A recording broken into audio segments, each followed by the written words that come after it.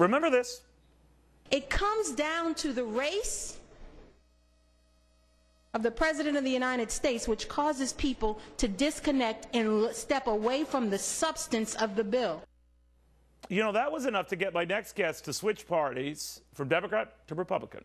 So, what is he saying now that Senator Harry Reid is refusing to apologize for this? It has been obvious that they're doing everything they can to make him fail. Uh, and I hope, I hope that it's, uh, and I say this seriously, I hope that uh, they're, that's based on uh, substance, not the fact that he's an African American. All right, we've got Louisiana Republican Senator Elbert Guillory back with us. Senator, always a pleasure. What did you think of Harry Reid's remarks? just a morass of malarkey. It just makes an, an, a good American sick to hear someone saying that kind of humbug. Some people have only one card in their whole deck, and it's the race card. And these uh, people just insist on playing it again and again. It's, it's divisive, it's stupid, actually. Senator, what do you think of the way he couched it? In other words, not stating it outright, but saying, well, I hope they're not doing this because the president's African American. You can kind of have it both ways with a statement like that, right? I don't think so. I, I, thought that it was it was clear. It's, it's, it's race baiting, clear and simple. It's playing the race card uh, clearly. I I was just disgusted to hear that. You know, Senator, when you switched when my, when my mother go ahead. I'm sorry. Yes. When, when, when my mother heard that first, my mother's 104.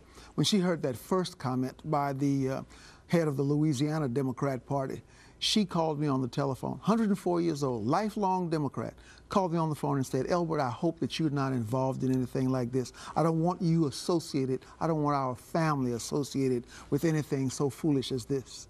Wow. And this is absolute foolishness.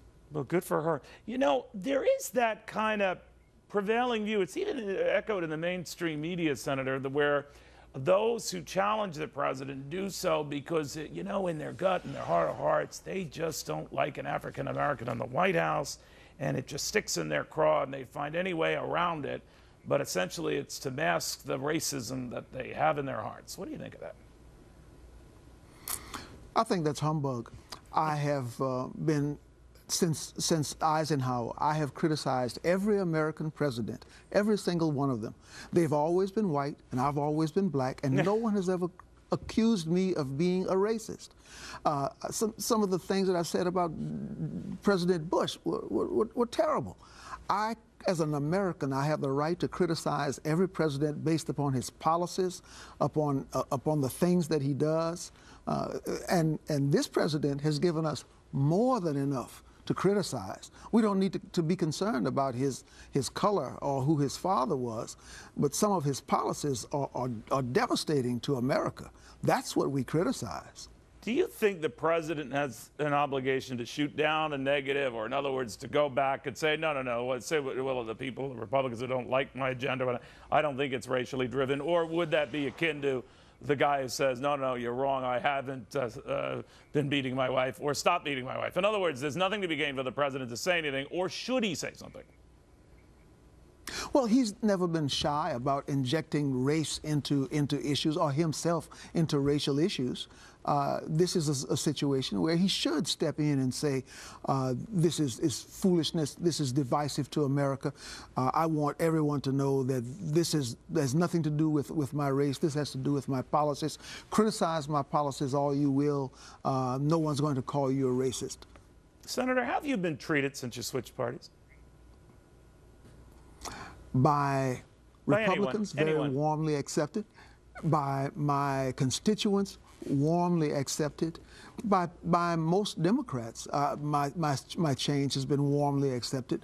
Members of the Democrat Party, the, the hierarchy, uh, they've been fairly nasty to me. I've, I've received bad names and threats and all that sort of thing.